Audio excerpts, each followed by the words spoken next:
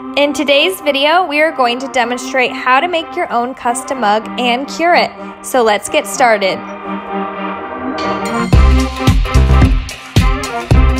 You can customize your mug with a picture or quote. For dark surfaces, choose gold, silver, or white colors.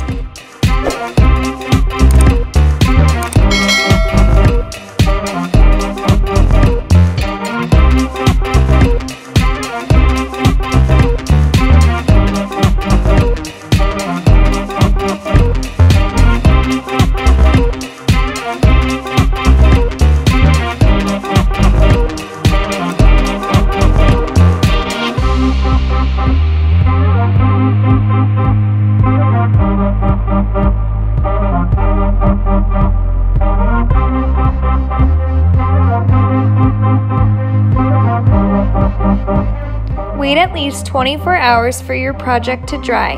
Then place it into a cold oven. Turn the oven to 350 degrees Fahrenheit. Set a timer for one hour. After one hour, open the oven. Let the project cool down completely inside the oven. To wash the surface, hand wash in warm water. We do not recommend using a dishwasher or a heavy duty sponge.